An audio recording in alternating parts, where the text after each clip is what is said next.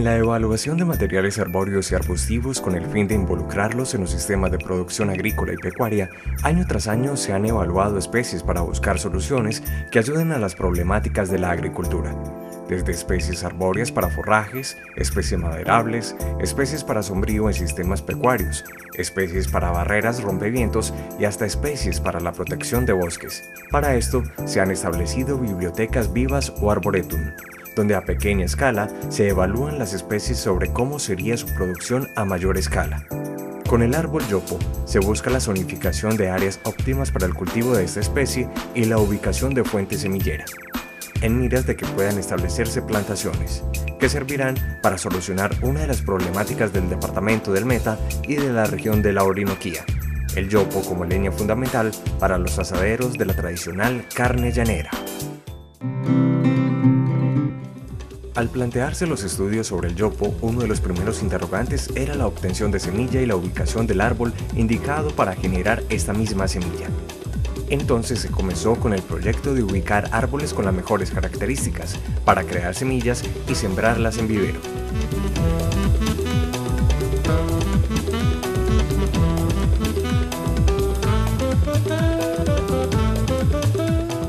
Como vemos aquí atrás mío, tenemos un yopo de unos 15 años de edad que cumple con algunas de las características de, que buscamos en los, en los yopos como para candidatos a fuente semillera.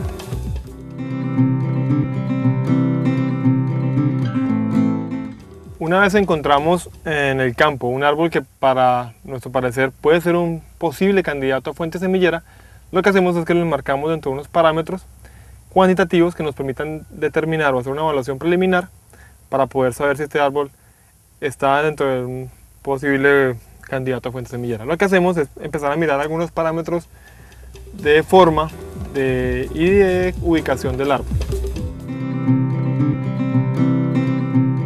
Clasificar el árbol de yopo para fuente semillera comienza con la evaluación de la forma de la copa. En esta se premia la malformación del árbol. Al eje principal del árbol, muy importante para los acerríos, se le debe resaltar su dominancia parcial. Igualmente se revisa el ángulo de inserción de las ramas y la bifurcación del árbol. Todos estos aspectos reciben una calificación.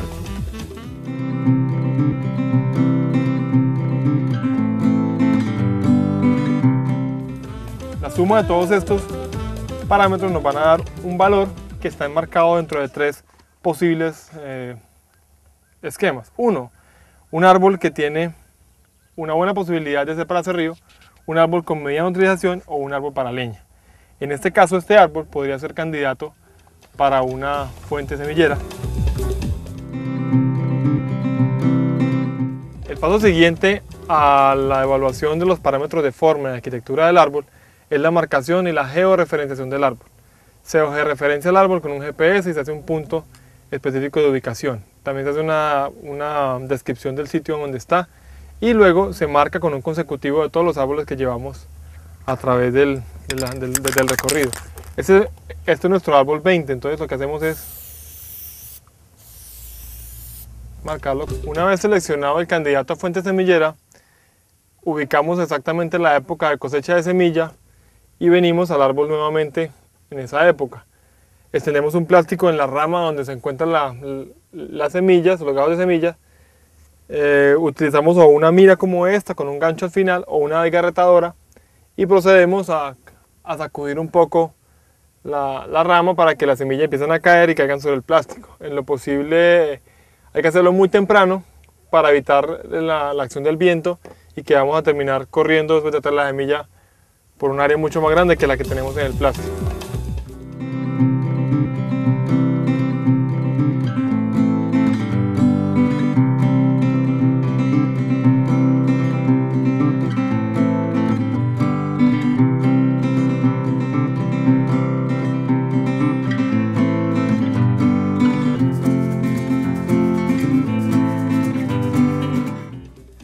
Aquí es donde inicia todo el proceso y la cadena del sector forestal en un vivero. El vivero se convierte en parte fundamental, en el eje central de todo lo que es el desarrollo forestal, con miras a una producción de madera, una producción de bienes y servicios, pero igual con árboles de alta calidad. El vivero es el 50% del éxito o el fracaso de una plantación forestal. De aquí depende todo el cuidado, todo el manejo que se debe tener para que la plantación sea exitosa.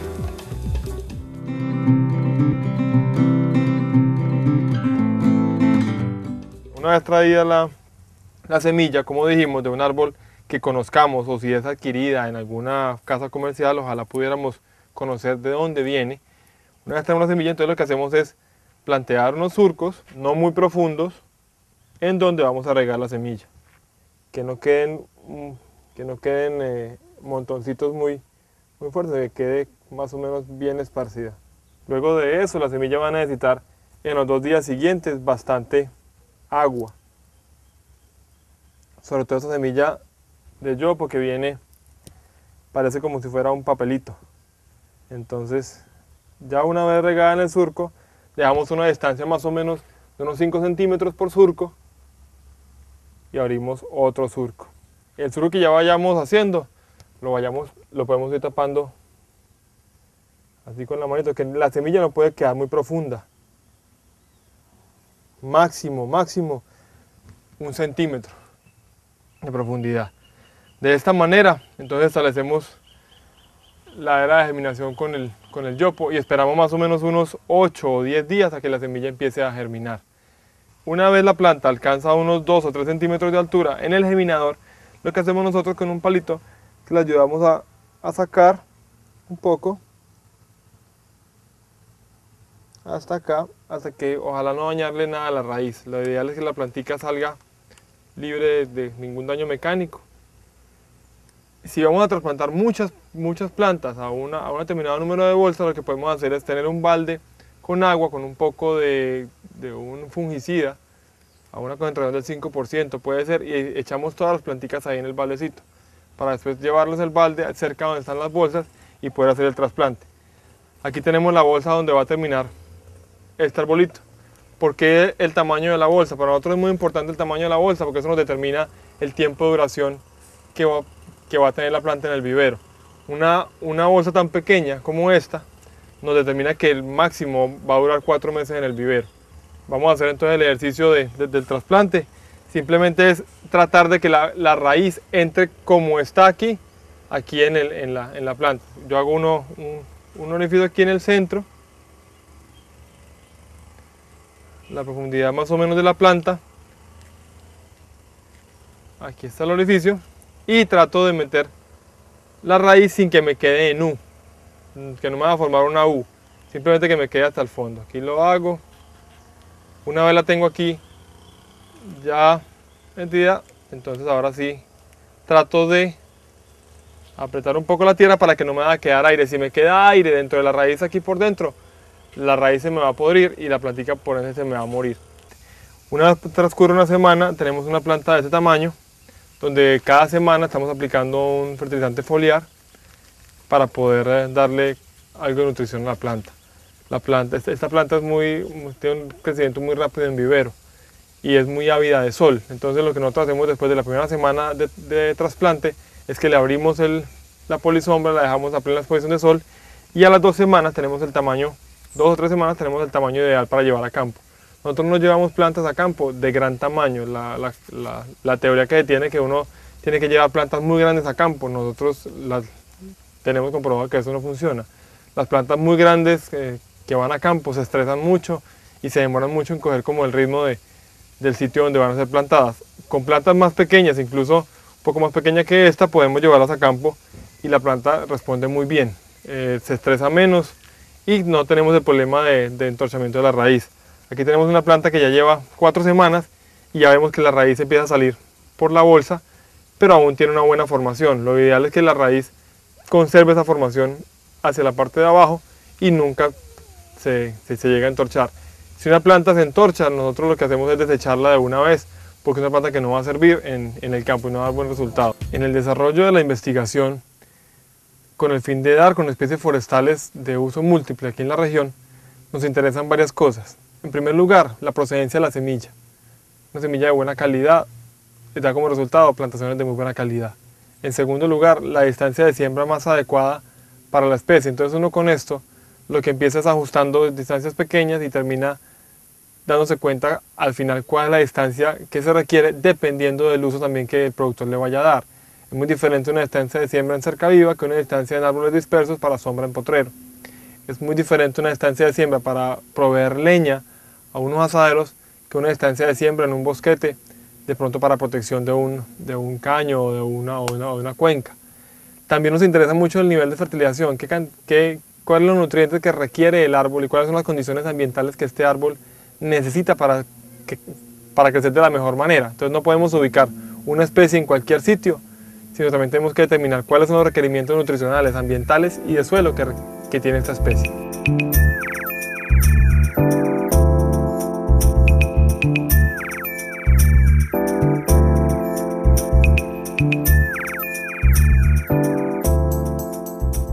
Uno de los objetivos propuestos desde que Corpoica inició su investigación en el sector forestal, en los llanos orientales, ha sido la búsqueda de materiales que no solamente provean productos al, al, al beneficiario, bienes, madera o semilla, sino que también sean árboles que provean soluciones y provean servicios a la problemática del sector agrícola y pecuario. Árboles como acacia mangium, como que tengo aquí al lado, que en otras regiones del país son uh, establecidas para, con potencial maderero. Aquí las buscamos como alternativa de sombra, alternativa de forraje, alternativa de leña, alternativa de reforestación protectora en franjas para, como, como protección de cultivos. Y de esa manera vamos consolidando una agenda que contenga una serie de especies que puedan proveer múltiples servicios eh, al sector agropecuario.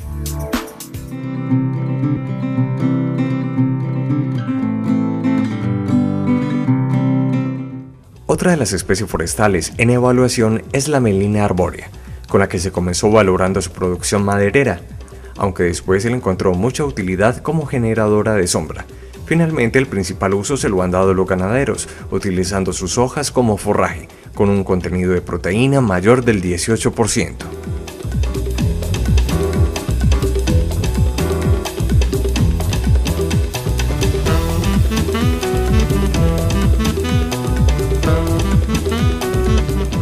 El yopo, fundamental para los asaderos de carne en la Orinoquía colombiana, está comenzando a escasear. Buenas noches, ¿Cómo está? ¿Cómo está? Bien. Bien, sí, señor. Nos encontramos con Jesús Benavides.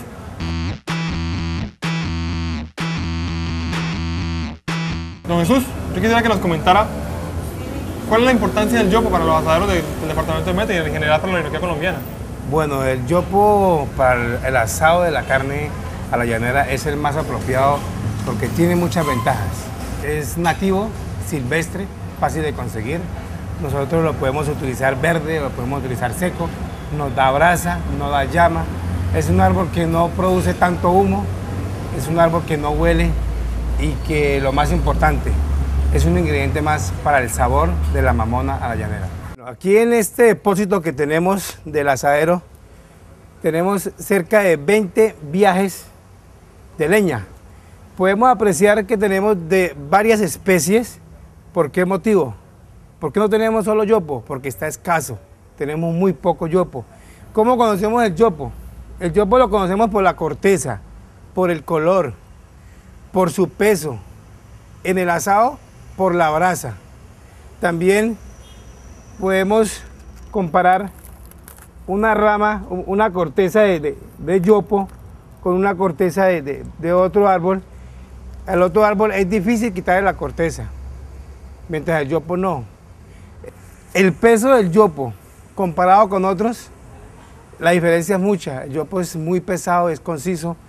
Yo creo que la misma palabra, la misma palabra con que se denomina yopo, que es eh, traída de los indígenas de esta región, que traduce corazón, algo pesado, algo fuerte. ¿Cómo utilizamos el árbol? Del árbol se utiliza absolutamente todo desde la parte más gruesa hasta las ramas más delgadas.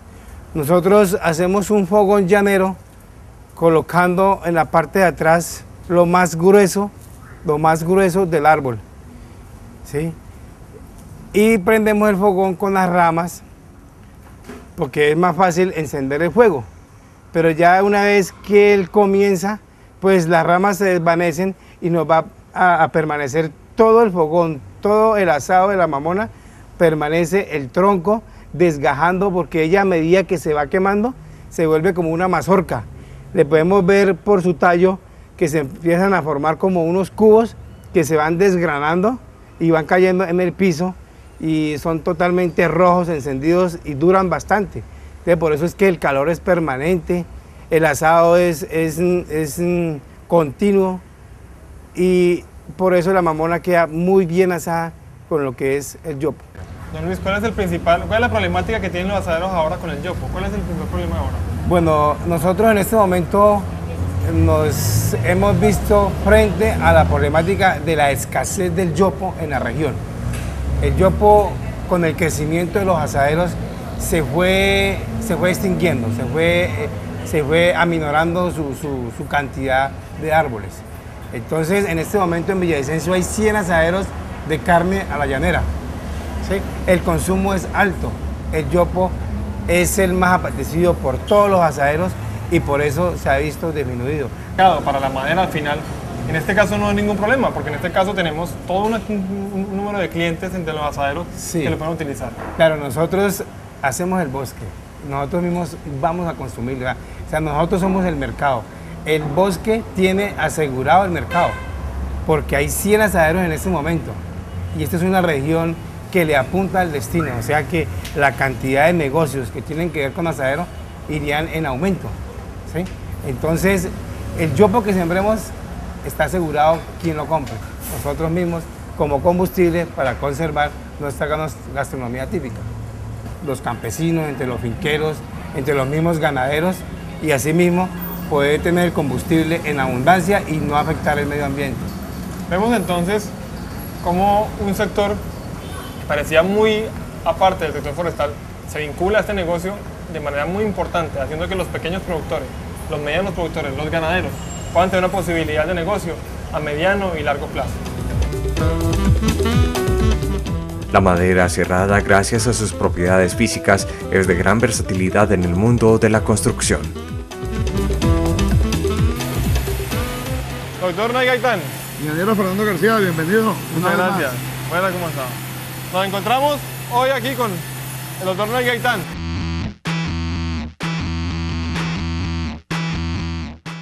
¿En qué consiste la transformación y la comercialización de madera? A ver, siendo la madera un material noble, un material imprescindible en la construcción, nos hemos empeñado siempre a trabajar con la gente respetando el medio ambiente. Nosotros trabajamos maderas nativas como madera reforestada, maderas nativas para la industria de la construcción, para la industria de las carrocerías, para la industria de la carpintería, ebanistería. Y también tenemos maderas reforestadas que dentro de un proceso de descortezado, cilindrado, secamiento y luego inmunización por el sistema vacío-presión, brindamos a nuestros clientes maderas de calidad para corrales, para mangas de coleo, para cercas eléctricas, cercas de alambre de púas, establos, eh, enramadas. Y para la industria de la construcción estamos muy presentes en madera estructural, para puentes, maderas, para todo tipo de estructuras en urbanizaciones tanto urbanas como campestres.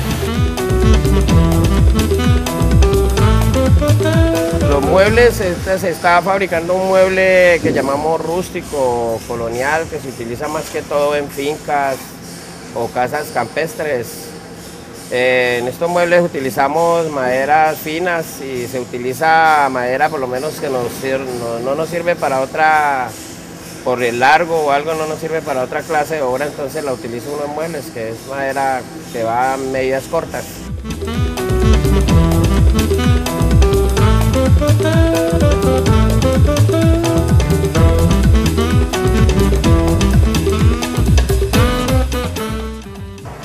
Vamos a través del tiempo o se tiene la percepción de que se han trabajado siempre especies nativas. Nos podemos dar cuenta que ya ahorita estamos trabajando con maderas que han sido sembradas en plantaciones con fines comerciales. Eh, tenemos especies, pinos, eucaliptos, acacias, y es más, muchos cedros y otras especies que están siendo eh, reforestados solamente con este fin, que es el de qué? Que sea comercial.